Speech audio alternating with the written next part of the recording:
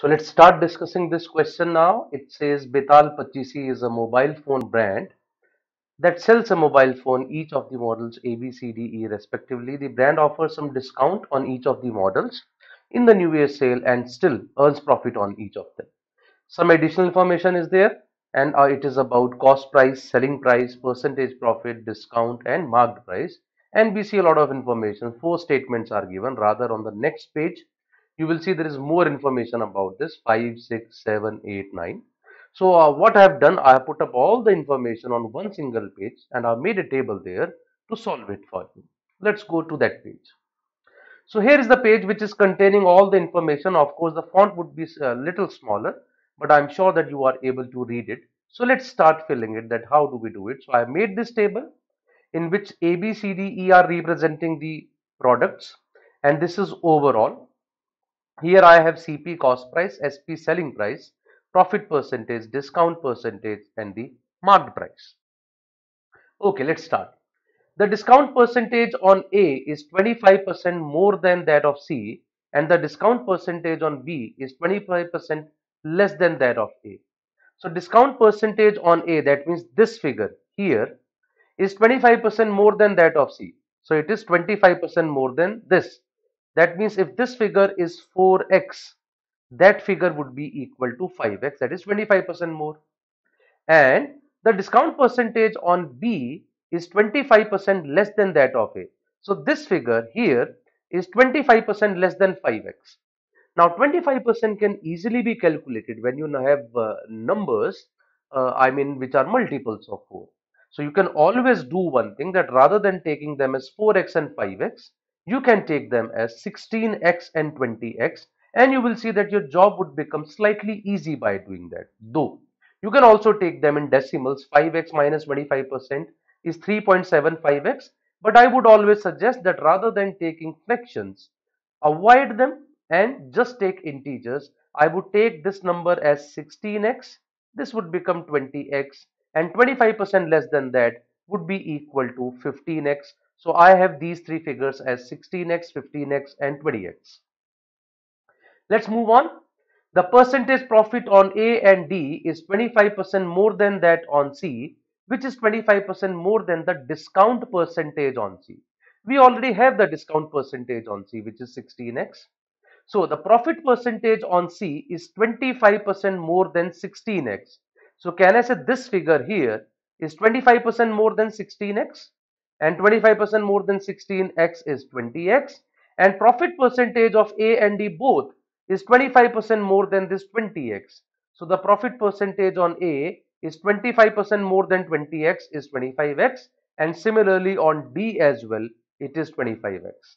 So till now we are able to work on all these things with one single variable that is x which is the best part of it.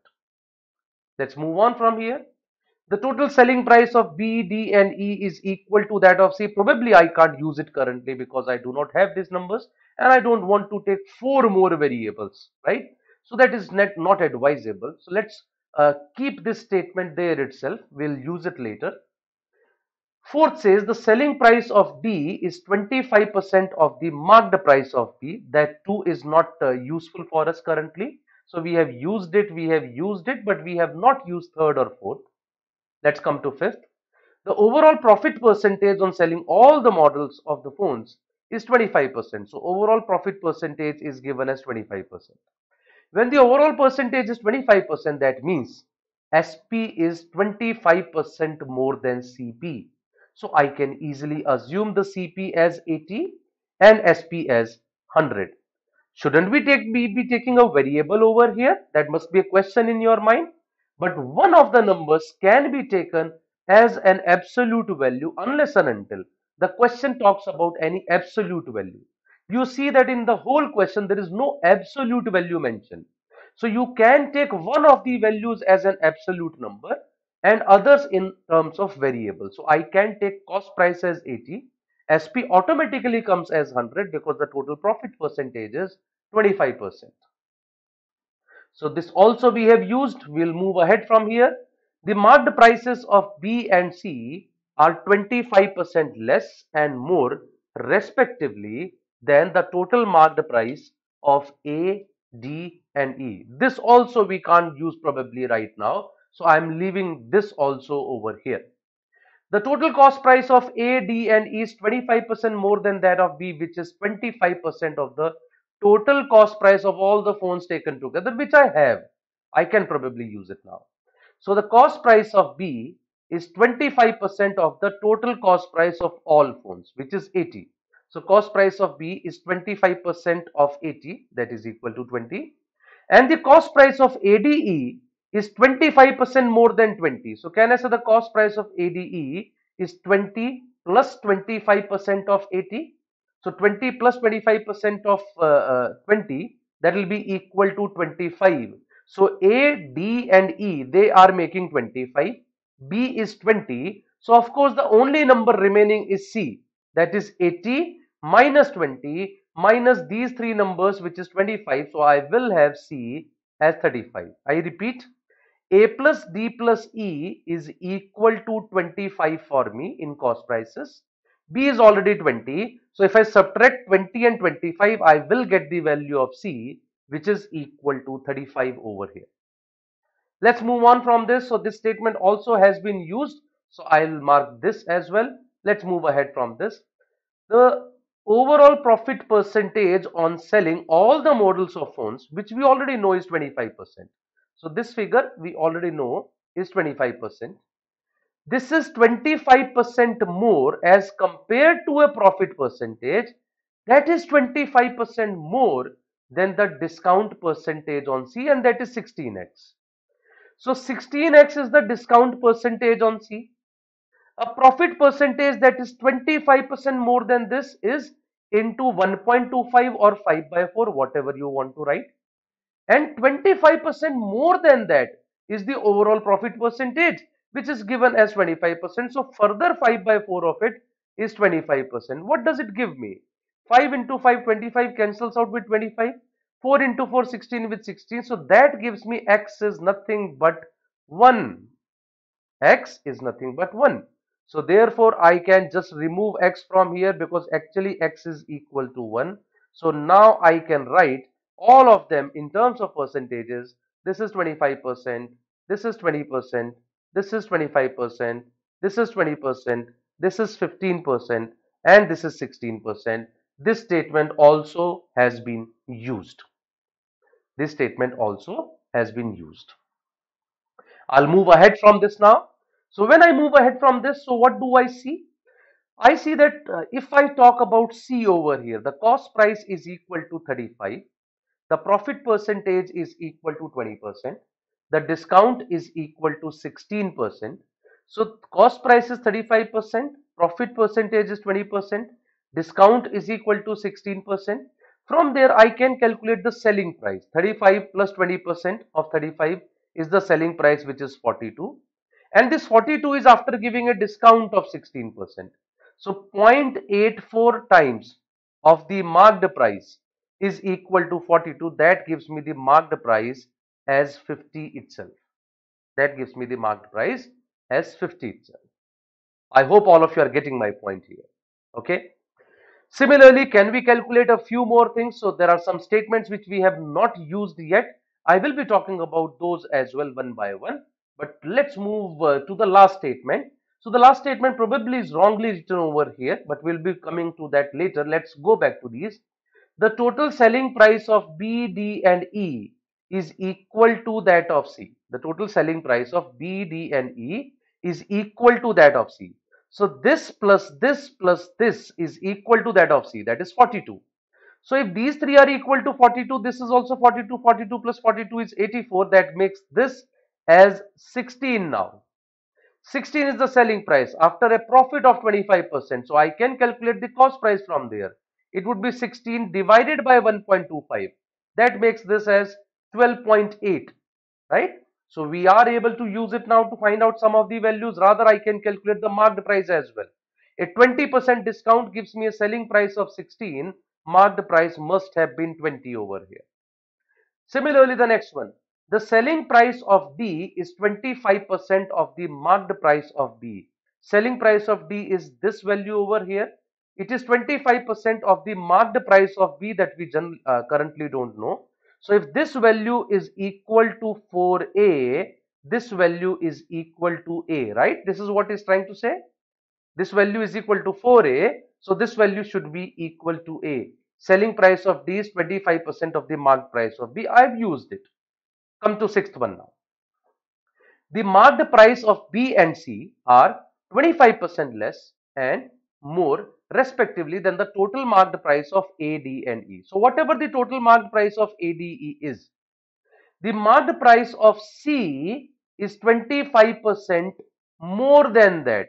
Marked price of C is 25% more than that and marked price of C is 50. So can I say the marked price of A, D, E together is such that 25% more than that is 50 or you can say 5 by 4 times of that is equal to 50. If 5 by 4 times of that is equal to 50, so what is the marked price of A, D and E? It is 200 divided by 5 or it is equal to 40, right? It is equal to 40. And the marked price of B is 25% less than that 40.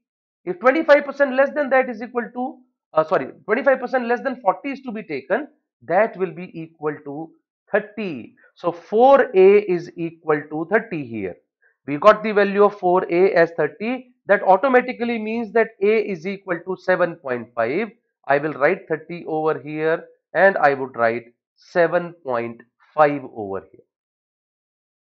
Now once I have the marked price 30 discount percentage of 15 at 15% discount of 30 will give me the selling price as 25.5 and you will see that there is a profit of 27.5% over here Similarly, the selling price is 7.5 over here. If the selling price is 7.5 and there is a profit of 25%, I can calculate the cost price as 6. 6 plus 25% is 7.5. Subtract all of them from 80, you will get E over here. Let's calculate that. 35 plus 20 plus 6 plus 12.5. If I subtract all of them, I will get 6.2 here. Similarly, subtract all of them from 100, you will get this value over here. So let's check that as well. If I subtract all of them, I get 9 here. On 6.2, there is a profit of uh, 2.8, which is approximately 45.1%. So I have almost got all the values except these two now. What about these? Here the statement is wrong actually. The statement uh, was, I have probably written it wrong over here. The statement was that the marked price of D is equal to the selling price of E. It is equal to the selling price of E. Selling price of E is 9. So marked price of this is also equal to 9. So on 9 there is a discount of 25% that makes it 7.5 right. So anyway uh, sorry uh, 9 uh, the selling price is 7.5 so there is a discount of 1.5 and 1.5 is 16.66% of 9. Very quickly now we can calculate this mark price as well as we know the total mark price of ADE is 40. So A plus T plus E should be equal to 40, 20 plus 9 is 29. This has to be 11. On 11 rupees selling price is 9 there is a discount of 2. On 2 over 11 is 18.18%. So that can you can write the total marked price as well as 1 120 and we can calculate the overall discount percentage as well from this. And once this completes the table, we can easily answer our question. So what I've done, I've written all these values in the form of a table over here. So just look at the questions. The percentage discounts offered on how many of the mobile phones of uh, how many models is at least as much as the overall percentage discount offered. How did I get this overall discount percentage? See, overall marked price is 120, overall selling price is 100. So there is a discount of 20 rupees overall on 120, which is 16.66.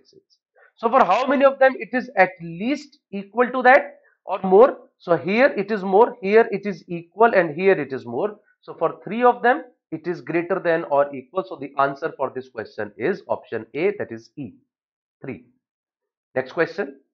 The marked price of how many of the models of mobile phones are at least 50% higher than the cost price of the phone. So if I look at A, is it 50% uh, higher? Yes, it is more than 50% of that.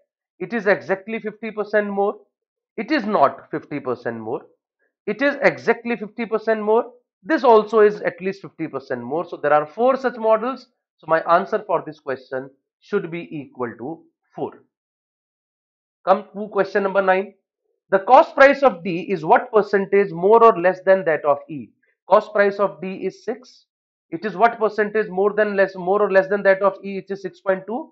So 6 is 0.2 less than 6.2. In terms of percentages, it is 1 by 31. See, had it been 1 by 30, it would have been 3.33. So it is very close to 3.33. So therefore, I would say my answer is 3.23% less. Okay. Next. What is the percentage profit on E? So 6.2 is the cost price, 9 is the selling price. So the profit percentage is 45.16%. That makes the answer as B. 11th. What is the ratio of the cost price of E to the marked price of D? Cost price of E is 6.2 and 6.2 is a multiple of 31. Marked price of D which is equal to 9. 6.2 is to 9 gives me 31 is to 45. So D option is the right answer for us. And the last question, what is the discount offered on E? We have already calculated that it is 18.18%. So C option is the right answer. So this was one set I would say was which was pretty lengthy, probably could have been avoided in the exam hall.